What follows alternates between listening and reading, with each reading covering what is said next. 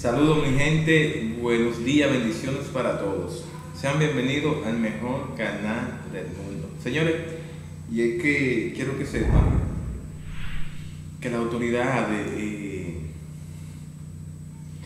pusieron una información sobre el depósito del programa Quédate en Casa, tanto en la selva como para la tarjeta verde de solidaridad.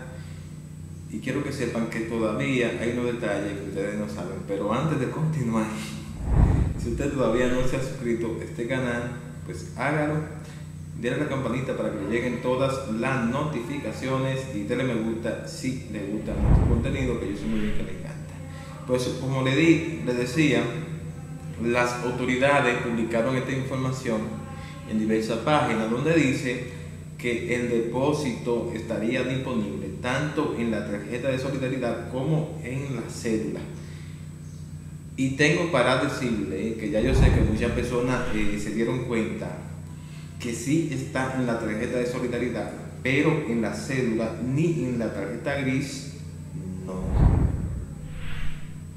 Si usted va a cambiar con la cédula, a pesar de que ya ellos informaron eh, de que está en la cédula, no está activada en la cédula todavía. No sabemos cuáles son las razones, a pesar de que ellos sí informaron, como le dije.